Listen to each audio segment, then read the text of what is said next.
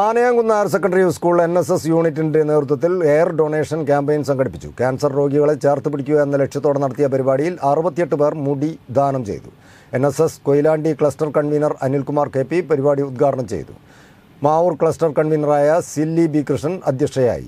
School principal ശ്രീമ Lajna P P programme officer Naseera K V Thiruvambady cluster convener Ratheesh Kunnamangalam cluster convener Sudhakaran N S S volunteer Jasal Muhammad തുടങ്ങിയവർ ചടങ്ങിൽ സംബന്ധിച്ചു.